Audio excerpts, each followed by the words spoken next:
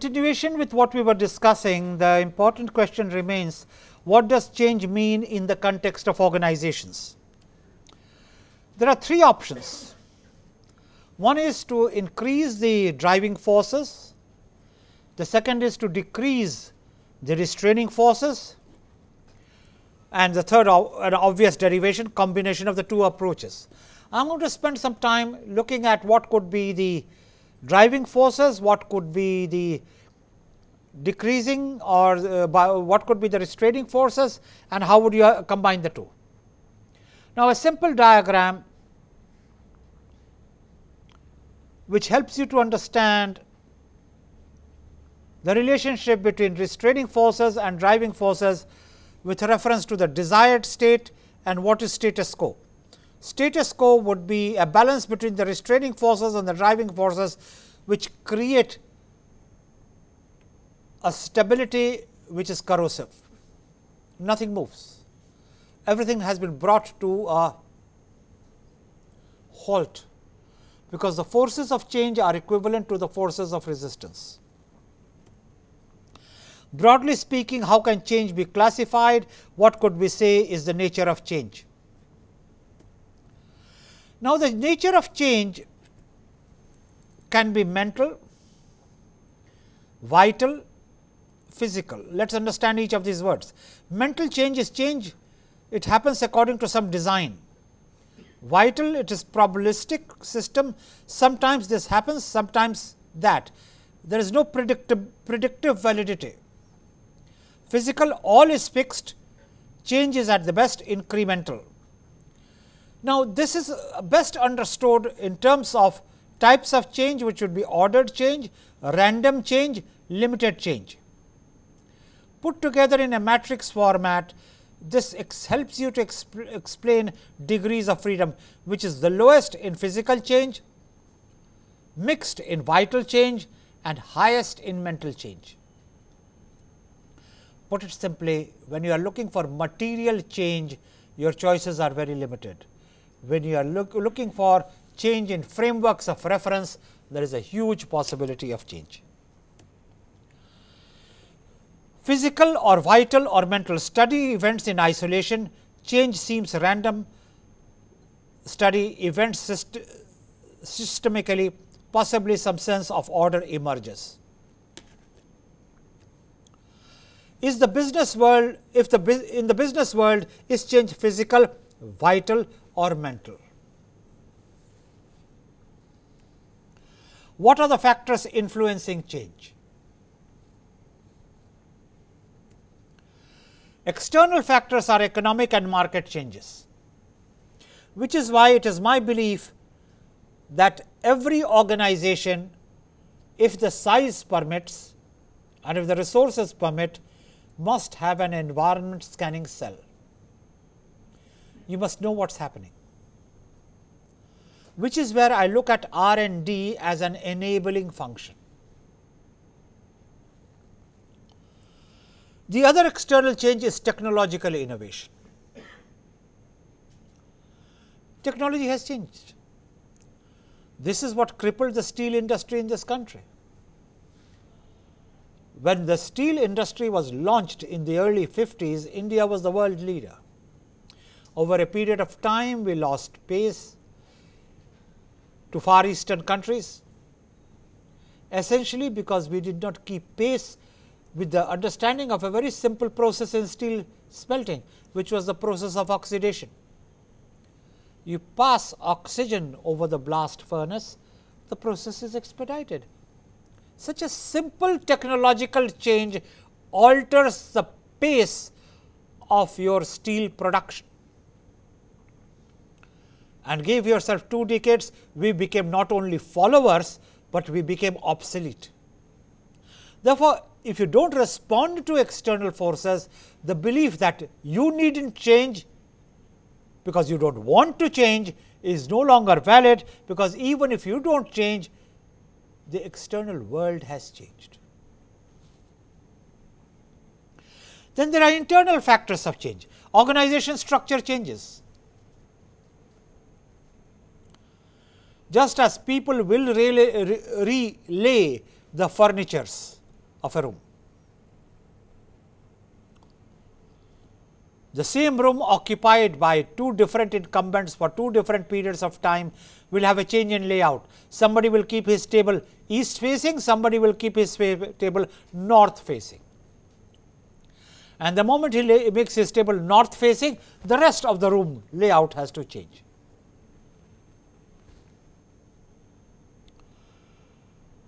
Changing employee demographics. There are any number of cases in, in Indian industrial scene where you banned recruitment for 10 years, then one particular year you lost 30 percent of your people. Now, it is very, very easy to be fashionable and say no more recruitment and especially if you come from the bureaucracy, you tend to open your shoulders wide because you know you are the you are from the controlling system and you say any change you want, but no recruitment and you feel very grand about it. Sitting on a board, I had to tell this functionary, you have just nailed the organization 10 years from now. And if you think he was convinced and if you think he changed his position, wrong number. All he did was flare up and say, you are known to have such, views. I said, well then I am paid to be here to share my views. One danger of power is you confuse your power for omniscience. You know it all. And if you make extreme statement, you sound particularly grand to yourself. Any change all of you want, but no more recruitment. Wow, what a grand statement of cost cutting. My own feeling is every literate person, every professional needs to have some understanding of organization management, because no matter how he plays it and whether he is a scientist or a navy man or a trader, he still needs to cope with an environment. Therefore, there are two types of factors structural factors and changing employee demographics. Lasting and meaningful organizational change ultimately comes from individuals who are building blocks of an organization. A fairly simple statement to understand, nothing much to explain there. People need to understand why the change is necessary. Organizations must effectively communicate the need for a change to all their members before attempting any kind of change. Of course, it is a fond nation, notion that if you explain to some explain something to some people, they will understand. Does not always work out. People may choose not to understand or understanding is too complicated. Vision represents the force that guides the organization and provides a sense of purpose and direction. Vision comprises of four parts organization's core values and beliefs, enduring purpose of the organization, a highly compelling and mission or purpose, a vivid description of the mission. Therefore, a link between change and organizational vision is important because no matter how well the organization has grown, any organizational reality will be an approximation of the organizational vision. If an organization has truly realized its vision, then it is ready to wither away, because it is no longer needed. The goal has been reached. And once the goal has been reached, you need to reset the goals. What do you work towards?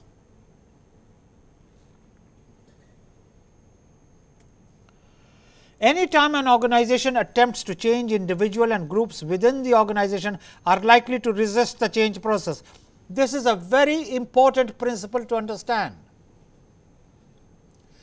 Any prevailing situation will have its vested interest. Any prevailing situation will have its stakeholders. Therefore, any change will ask for a reallocation of the turf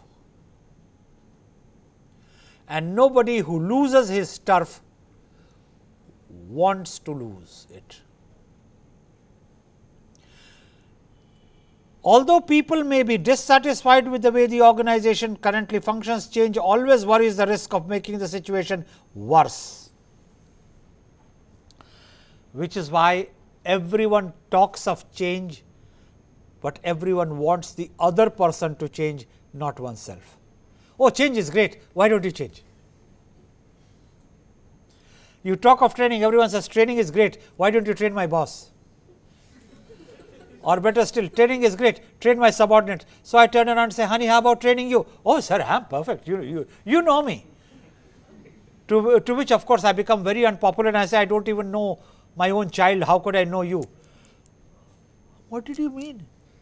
I said I meant exactly what you understood. He said, but you known me all these years. I said, yes, but knowing you is one thing, knowing you is another. Sir, now you are confusing me. To which my answer is you are always confused. When you do not want to understand something, you become confused. How come people who do not know how to apply online are so good at applying for the American visa or the British visa online? But if you ask them to look at a website, sir, I do not know computers. Now, you do not know computers, but how did you apply for your American visa online? Because you want to apply for that visa online. You see the problem? Intention is the core. Once the intention is there, you begin to understand. And if you feel threatened, your capability also shrinks. Now, there is no recipe to given someone giving someone intention and that is a real problem of change. How do you get people to change? In situations where change is perceived as more threatening than beneficial, organizational members will be unwilling to accept change. What are the barriers to change therefore? Failure to recognize the need for change. it is working fine. There is a society I am dealing with currently, which has a constitution which is more than 22 years old. For two years, they are debating the need for a change in the organization and there is this venerable gentleman now in his 70s. Whenever the constitutional amendment comes up, he starts yelling, shrieking, ranting, raving, you name it, it is all there and he has only one theme, where is the need for change? it is working very well. Now, he tends to believe that world has not changed in 20 years and he makes so much noise, the other people concerned find it so much more convenient to say, okay, we will consider it another day and he is very happy with it. Now, this, uh, this I do not think is a life is a life story of only one organization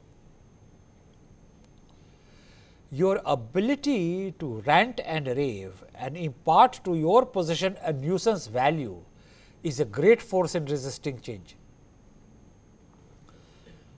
People who espouse change will also begin saying, yeah, I know things are not working as well they should, but they are working. Now, who will go through all this process? Let it continue. Inertia is a very consoling factor and I do not wish to elaborate upon it misunderstanding the purpose, process and outcomes of change. You do not know how much you need change. A lot of relationships of parent child are rooted in this inability of the child to understand that there are limits to parental change and the inability of the parents to understand that the child itself does not understand the consequences of change. Therefore, how do you work out a rhythm? By establishing dialogues. And my own feeling is that if you want to work out organization change, you must work on dialogues. People must start talking to each other and each organization needs multiple dialogues. The finance man needs to talk to the marketing man. The human resources man needs to talk to the manufacturing man. They do not explain each other to the other person, because each one is convinced if I am not there the organization will close. If any part is not there, the organization will close. It is like a bodily system. The body would collapse if the brain was not there, if the lungs was not there, if the heart was not there, if the kidney was not there, if the pancreas was not there, there is only one part of the body which you can undergo a surgery with without damaging its functioning and it is quite literally called the appendix. Every other part of the body,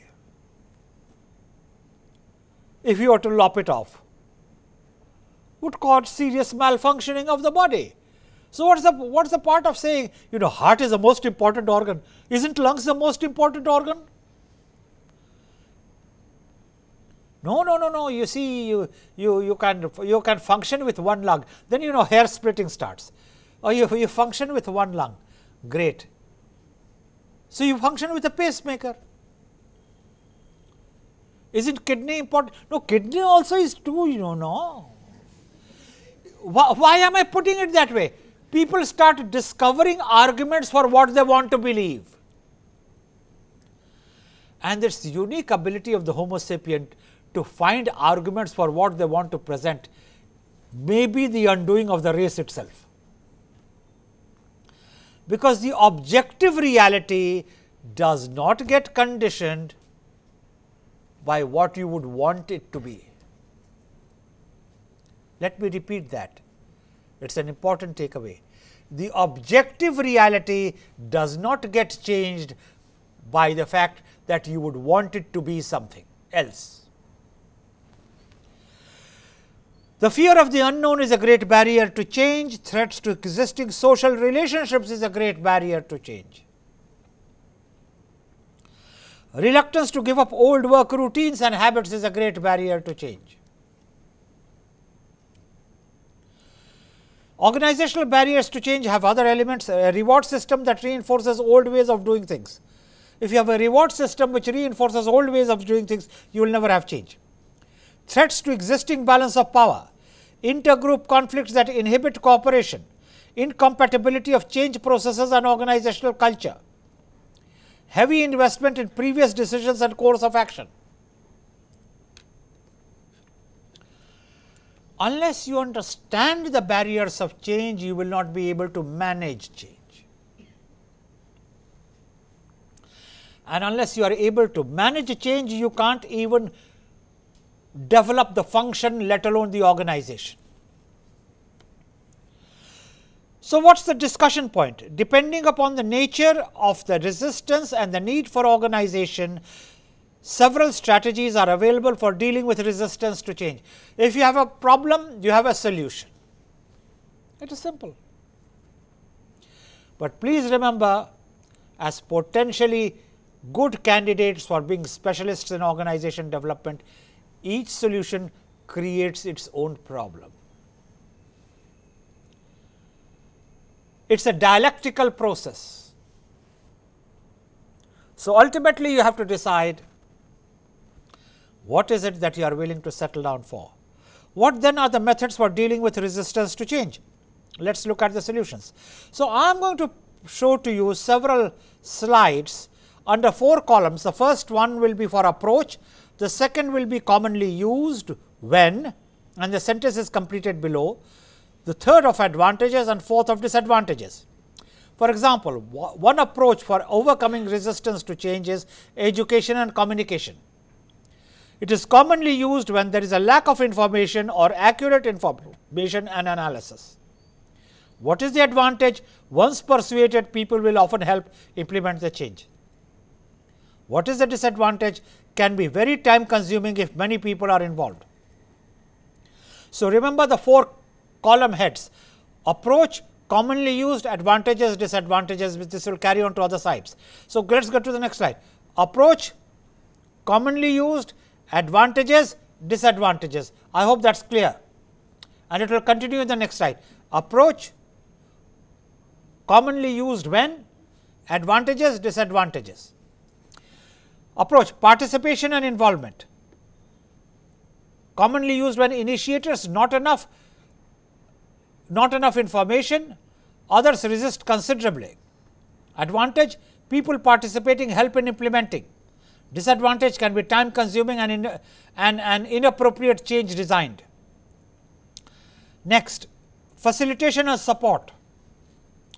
When people resist because of adjustment problems. Advantage no approach works as well as with adjustment problems.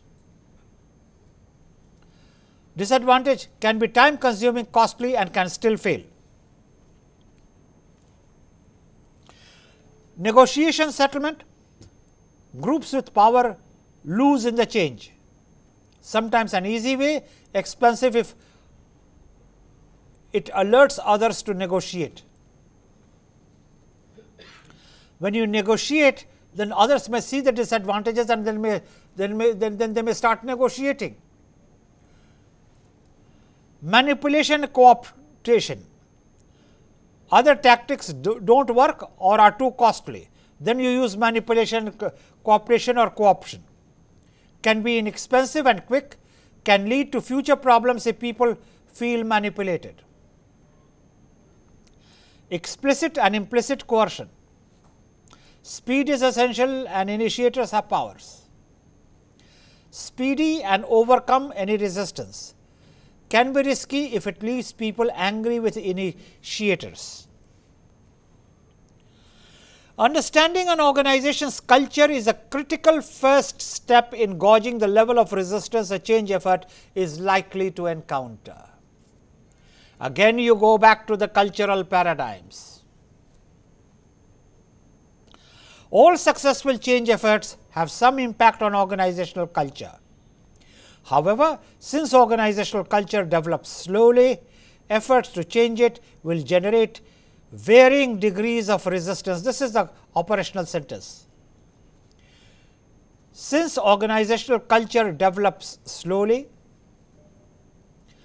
efforts to change it will generate varying degrees of resistance. Therefore, resistance would be much easier to handle if it was a common resistance. People may have different reasons for resistance, people may have different intensity of resistance and what is the worst? People may get into a resistance mode at different points of time, but you were agreeing with me till yesterday. What happened? Sir, I have thought over it, now I do not want to do it. Have a heart.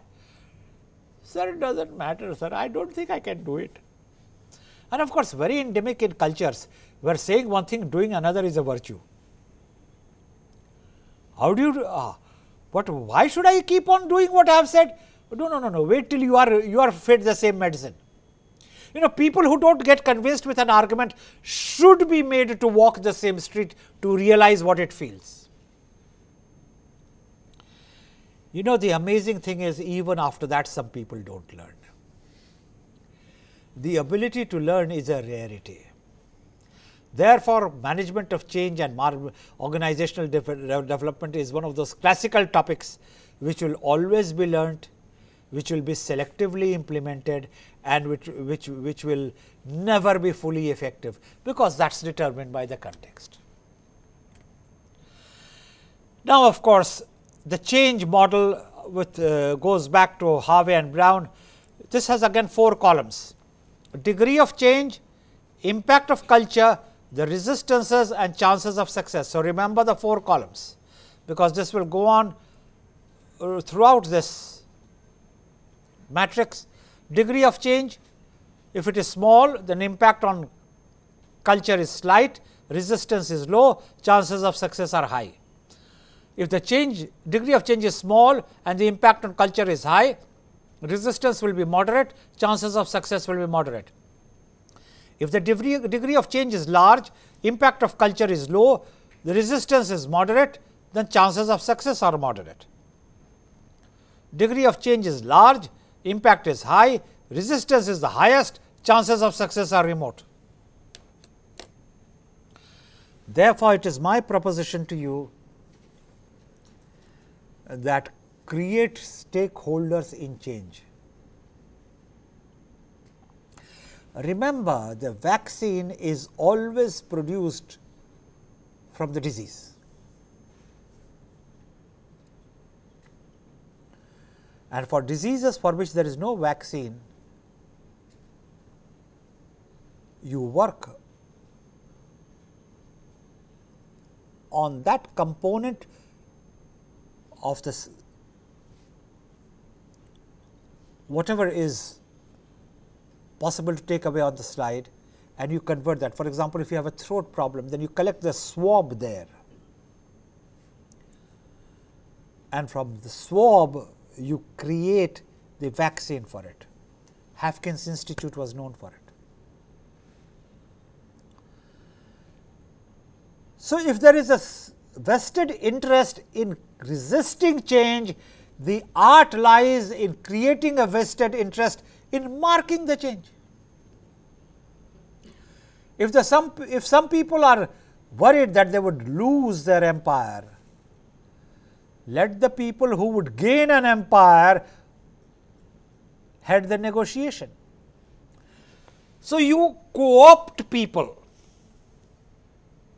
you widen your base and you negotiate. That is the way change is undertaken. Seven value based assumptions organizational members do not always share with OD specialists. Organization development specialists are never fully incorporated because they are change agents. And whereas everyone talks of change, you heard me say nobody wants a change. What are these seven elements? Doing better is doing better is a good thing the facts are friendly.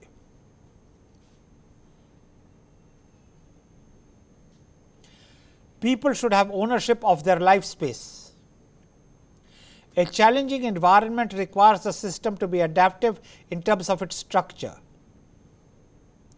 Change does not have to be haphazard. The results of change actions are not always 100 percent predictable and controllable behavioral science knowledge can contribute to organizational health. Now, these are seven value assumptions. If you practiced it as a part of the OD intervention, the OD intervention would work lot more smoothly. Organization people do not share this with OD specialists, because they do not show to the OD specialists how doing better would be a good thing. Because no OD specialist has contextual information. Any OD intervention requires carrying the contextual information along with them, which is always locked with the people who work within the system. So, to crack it, it is my submission that create internal stakeholders in the system. And then they will be able to show you the way or how doing better it will be a good thing, how facts are supporting change, how people would have ownership of their life space if change was introduced, how a challenging environment requires the system to be adaptive in terms of its structure and processes and that if the environment if the environment change that what are the ways in which you will have to change and I was giving you the example of DVD.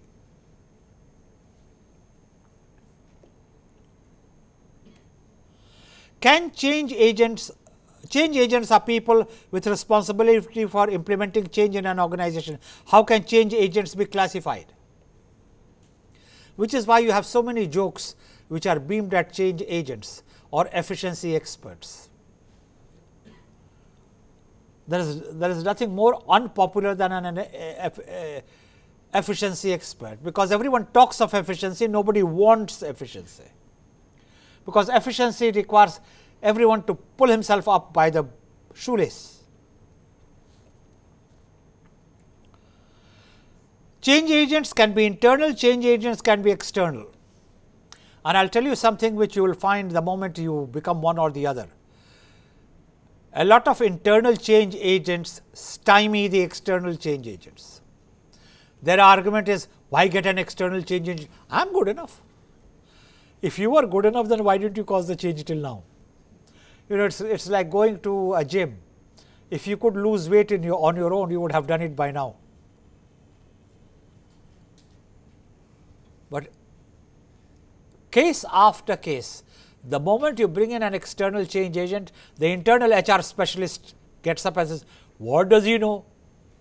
I know the organization. What does he say which I don't know already? Okay, Ducky, you, you, you, you know the organization, you know the techniques. Why didn't you do it? Please remember human frailties can be a problem in managing change. Sheer jealousy, sheer inability to recognize that you need help. Remember as another takeaway, the ability to know that you need help and the ability to give help when somebody requires is a very rare human attribute.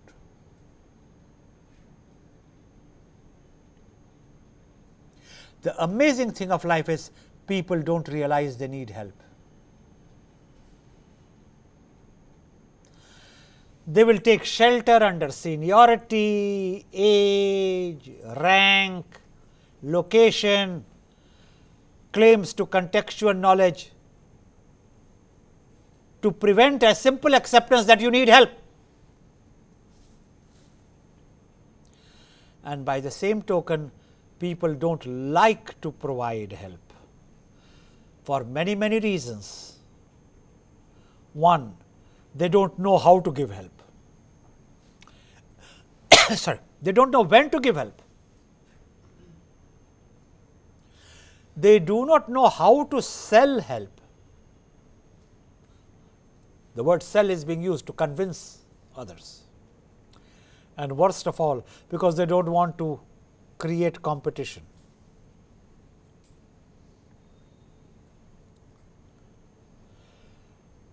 But change agents can be internal or external. Now, change agents advantages uh, and disadvantages. External change agents, what are the advantages? He has a credibility as an expert, no negative history with organizational members, objective outsider, wide experience.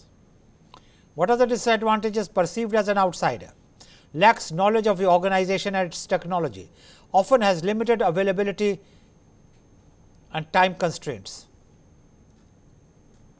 In other words, has is not always available to the organization and all will always have some time constraints. Internal change agents. What are the advantages? Credibility as an insider, knows the people, the culture, the norms of the organization, knows the technology, continuously available personal relationships. What are the disadvantages? Often not perceived as an expert, may have negative history with the organization, may lack objectivity, has limited experience with other organizations.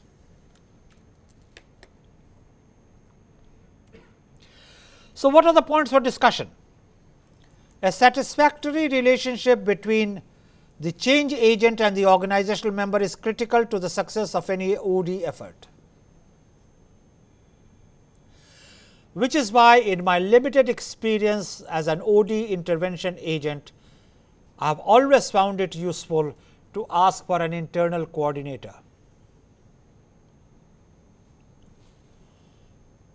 And two, wherever possible, I ask the CMD to be a party to the consultative process. After all, I am carrying his baby and I am not willing to serve as a dry nurse.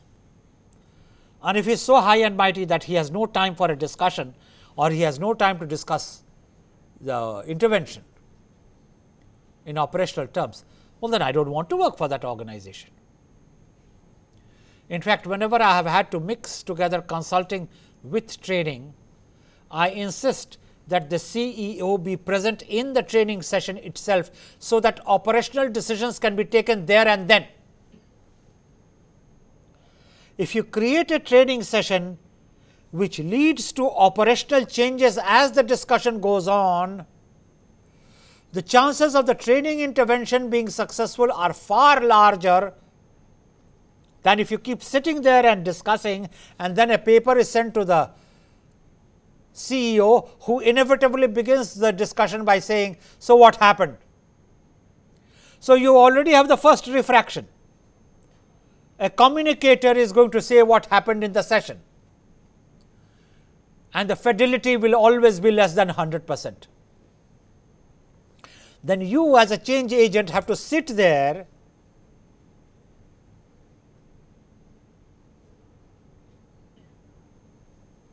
like a stakeholder arguing for what you want to change rather than saying this is a proposition now discuss it and tell me what you want to be done. You spend too much time explaining yourself. There are other techniques which I have used in my consulting processes, but the details here may not be necessary other than to point out there is such a thing as consulting styles and each consultant has a consulting style. And one of the essential in ingredients of an external agent of consulting style should be how to cope with change. A trusting relationship helps the consultant deal with the changes brought by those who are uncomfortable or in disagreement with the change effort, which is very important, which is why the, your branding as a consultant works. And the consultancy's style and values are key factors in establishing trust and making relationships successful. How change agents build trusting relationship is yet another question. Because you see when you are saying that if you develop a trusting relationship, you will be heard better, you will be able to manage change better, then you are assuming a solution. A palpably silly mistake to make. Again, as an illustration, you may have heard the story of an architect, a physicist and an economist marooned on an island and amongst them they had a can of beans. So, the problem was if they were to have something to eat the can must be opened.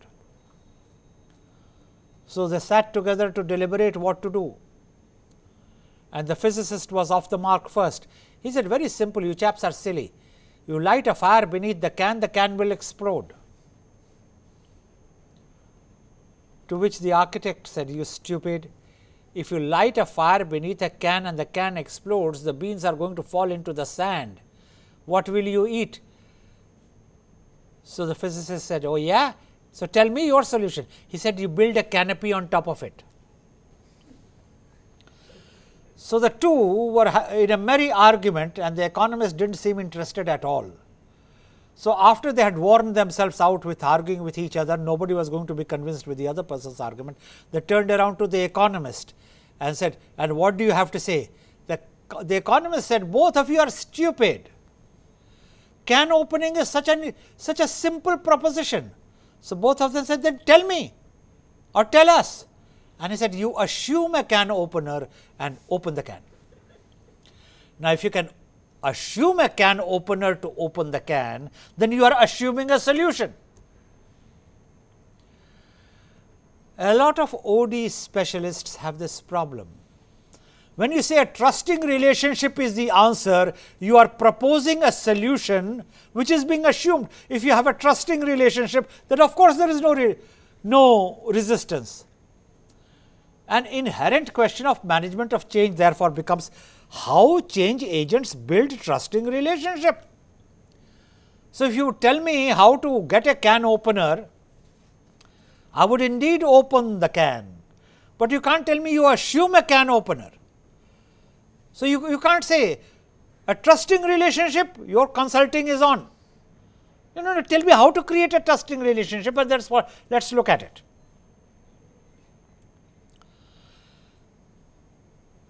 There are several types of discomforting responses and learn to deal with it.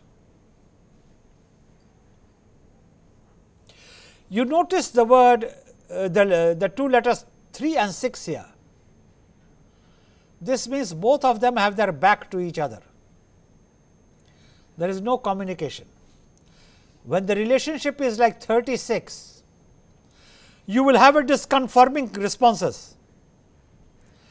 You will have an impervious response.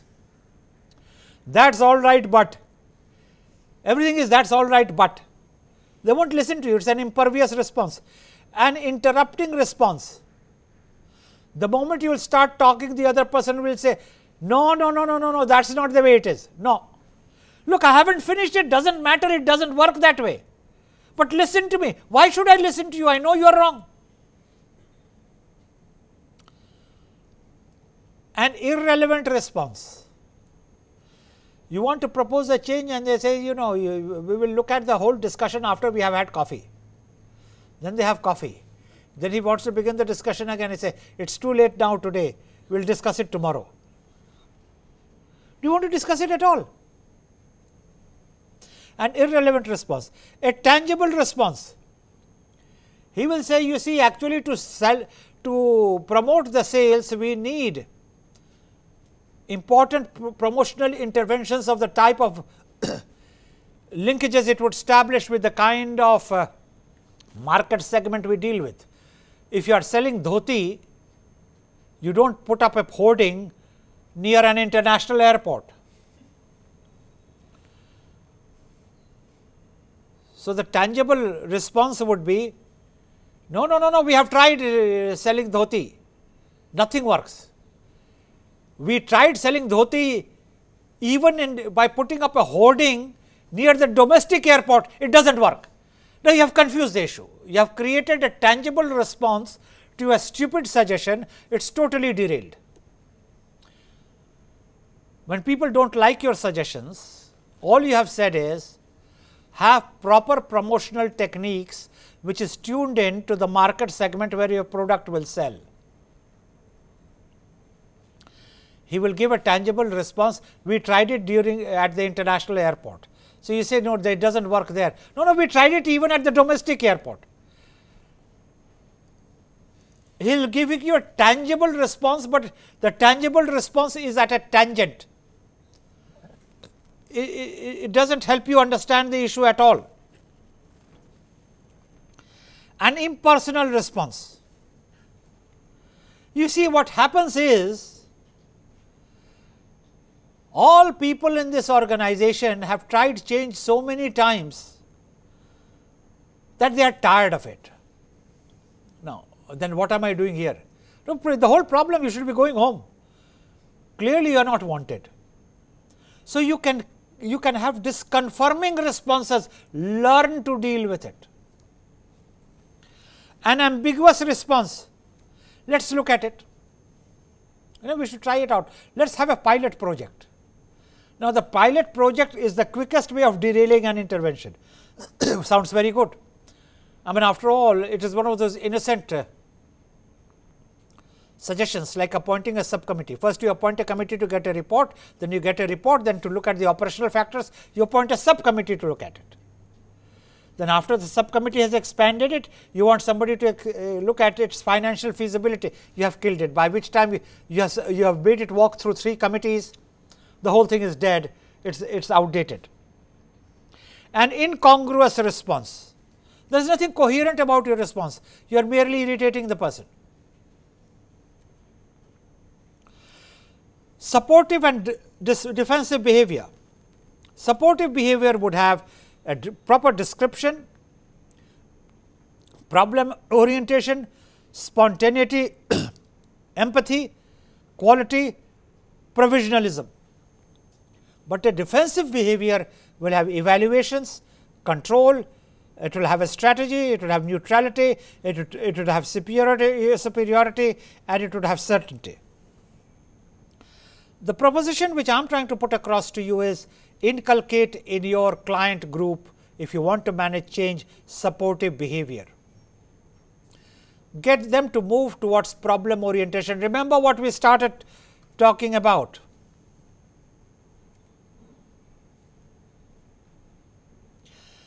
How can change agents be classified and then we went into looking at how can a change agent build trusting relationship. Let us not forget the question which we are trying to answer. And to create that trusting relationship, it is important to create supportive behavior. If you create a supportive behavior, your organization development intervention will have more chances of success. The consultant must of course be a role model. He listens, does not sell.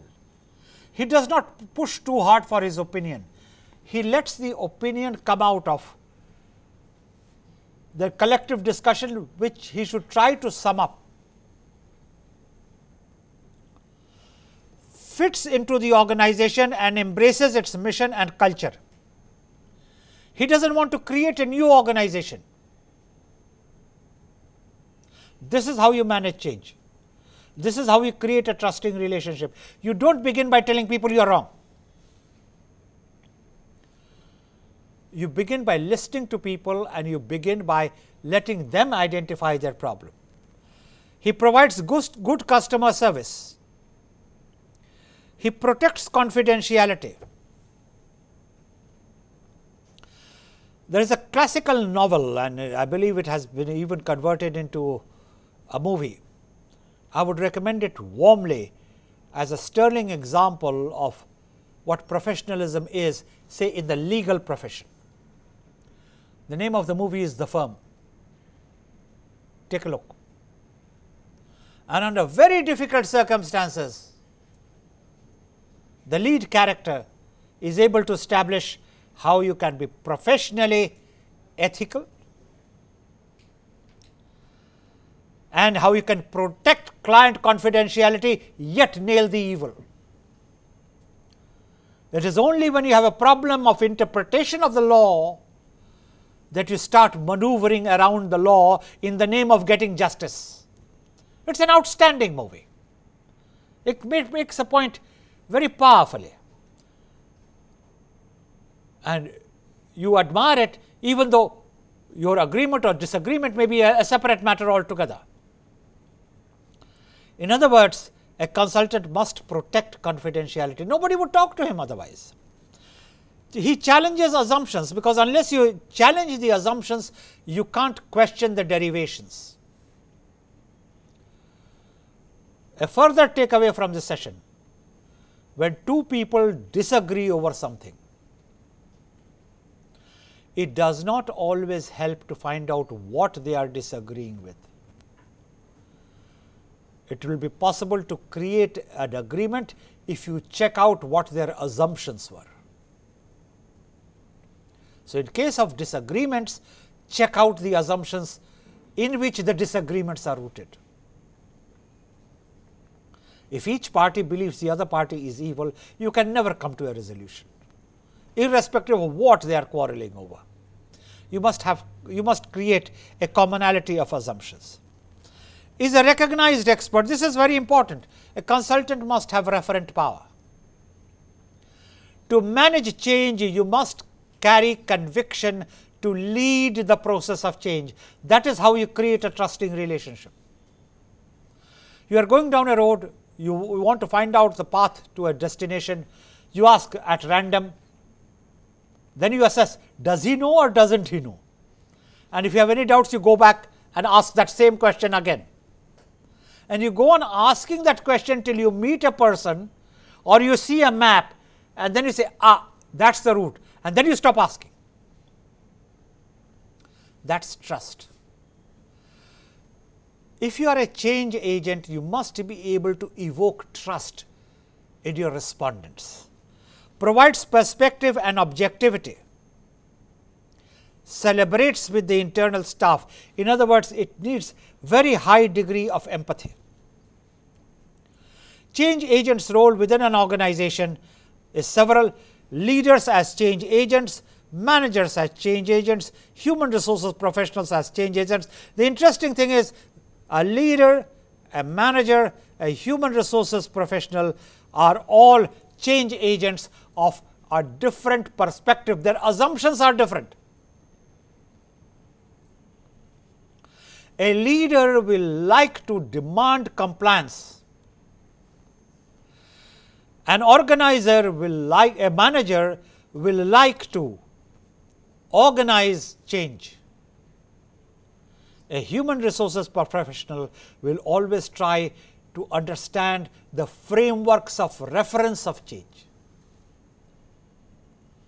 And which hat you wear in your role as a change agent for managing change or, or organization development in organizations will be a factor of which one of these prescriptions will work with what community of employees, what community of managers, with what community of professionals and I am using the word community in the sense of group of people. So, finally, how can change be managed?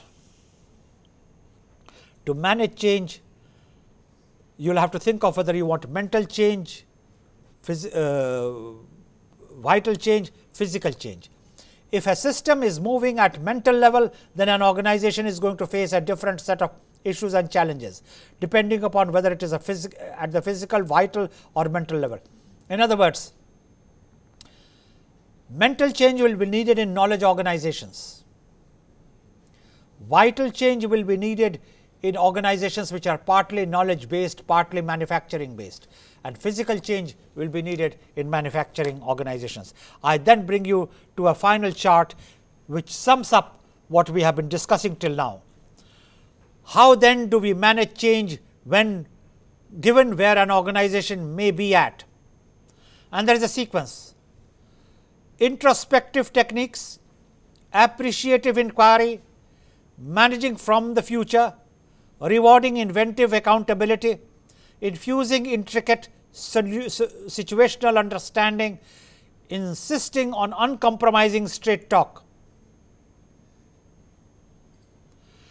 Now, depending upon where you come from, you can go from this point to this point or you can go on the reverse.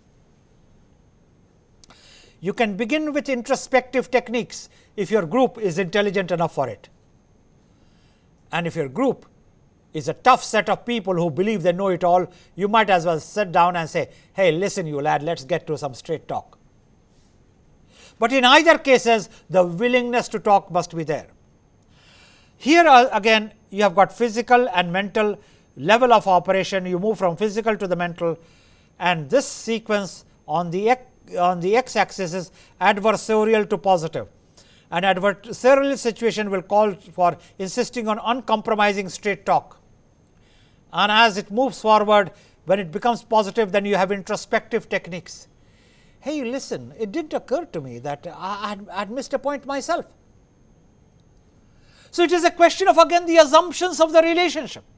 To sum up therefore, managing change in organization development or organization development in organization calls for creating trust calls for an understanding of what level of operations require what level of intervention and there are a whole host of intervention techniques which is a separate matter of intervention.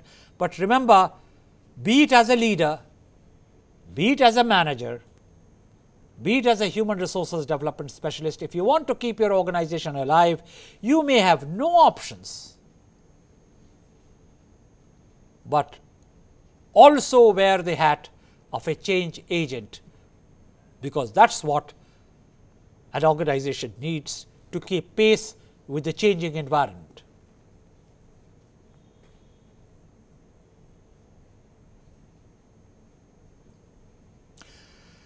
Thank you.